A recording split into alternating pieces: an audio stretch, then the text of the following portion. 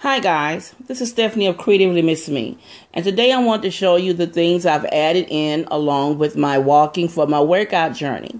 Now I have this ab lounger in the garage. I had my husband dig it out and bring it in the house for me, and my goal is to do 50 to 150 crunches per commercial break during Young and the Restless and Bold and the Beautiful. Yeah, I know soap operas. I watch them daily with my mom and me and her discuss them when she calls, and that way I understand what she's talking about when she calls me now.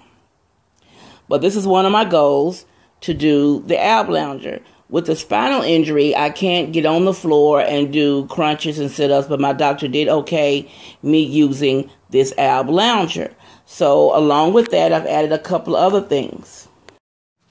I'm adding these workout videos, these three videos. The first one I have is Jillian Michaels the biggest winner, how to win by losing. And I'm going to in, add this in, you know, rotate the days. Then I have core rhythms. Core rhythms is more of Latin dances put to workout regiments.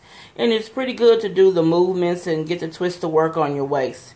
I've used it before and trust me, you will sweat like all get out and it does help tone your waist. Then the last section of videos I have is called the Brazilian butt lift. Uh, those have some really good workouts in them. As I said, I used these before. So I'm going to add all three of these into my work loss journey. And I'll be doing some inside and some outside on the patio.